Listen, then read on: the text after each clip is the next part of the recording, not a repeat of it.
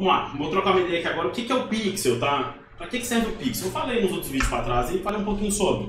Mas vamos, vamos a fundo no negócio agora. O que é o pixel de verdade?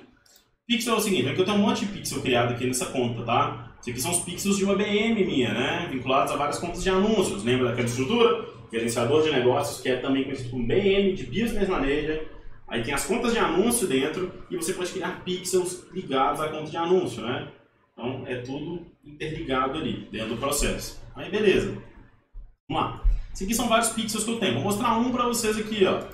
Que é um, um, dos pixels que eu tenho. Tem uma identificação aqui, 38, 177, tá? Enfim. Esse pixel, o que acontece? Ele coletou alguns dados recentemente, ó.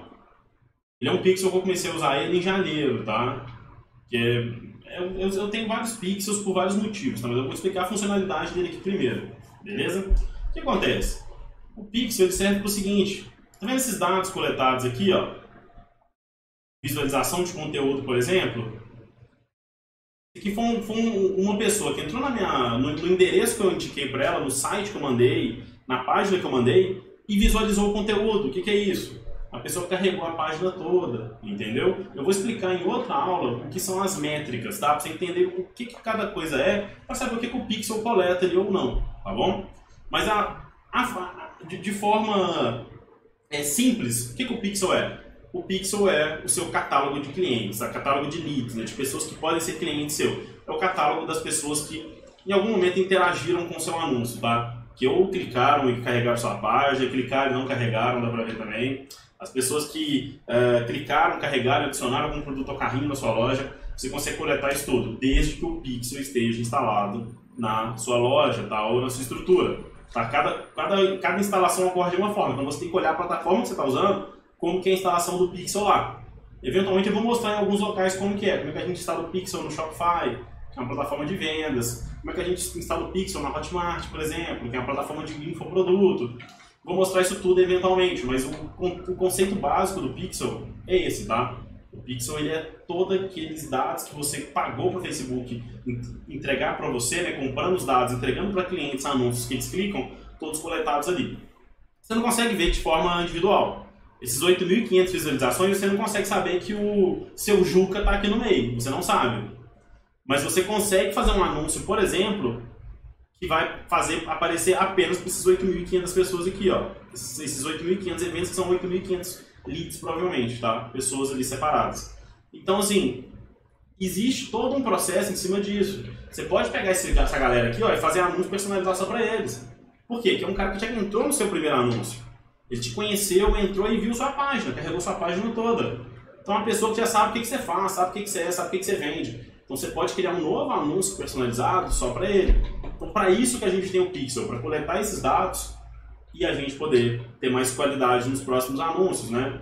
A gente poder, poder entregar um conteúdo melhor e até mensurar, entender o que está acontecendo. Saber, pô, esse meu anúncio está bom, está ruim, o que está acontecendo, será que o pessoal está entrando, tá? Então o Pixel é isso, tá?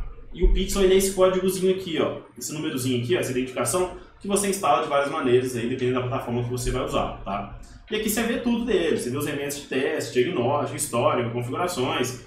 Tem várias coisas aqui, mas que não são importantes para você agora, tá? Você não precisa se preocupar com isso agora.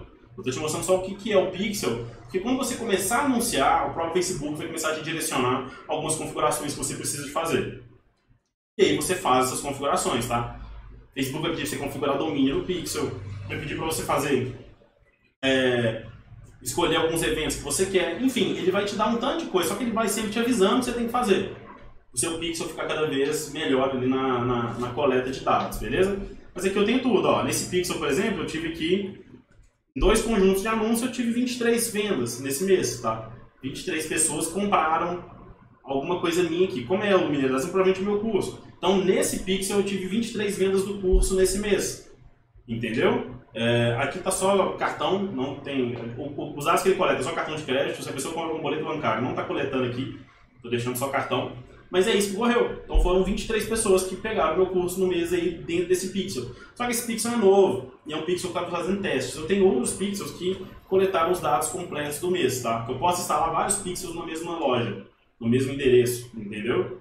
É um, é um, parece um pouco confuso entender o que é o pixel, mas quando você começa a trabalhar com a ferramenta, você vai sacando o que, é. Eu estou te falando porque já, vai gerar algum tipo de dúvida para você aí, talvez dúvida agora ou dúvida depois, sobre o que, que é. Mas assistindo esse vídeo, você sabe o que esperar já, entendeu? Então o pixel, vamos lembrar aqui, o pixel é o quê? O pixel é um número de identificação que fica dentro da conta de anúncios que está dentro do seu, da sua BM. Tá? E o pixel ele coleta tudo que, você, que acontece externamente ao anúncio. O que, que é externamente? Coisas que acontecem fora do Facebook e do Instagram.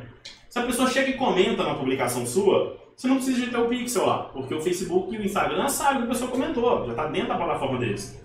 Agora, se o Facebook, você clica no anúncio e a pessoa cai fora do Facebook e vai para uma loja, como é que o Facebook vai saber o que a pessoa fez na loja, para saber se o anúncio é efetivo ou não? Aí que vem essa questão do pixel que está instalado na loja para poder informar o Facebook e ele te dá as métricas aqui do que está acontecendo. Se aquelas pessoas que estão entrando na loja estão realmente fazendo ações importantes para você ali, ações relevantes que são aquilo que você busca. Se você está anunciando, tem que alguém compra de você, que alguém leia, que alguém te procure, que alguém cadastre, né? Então, o Pixel serve para isso, tá? Então, tendo dúvida, qualquer coisa que tiver, ah, tu não sei o que aconteceu, eu tô perdido, manda nos comentários aí que eu vou fazer o possível para responder todo mundo sempre, beleza? Valeu, abraço galera, vamos para a próxima.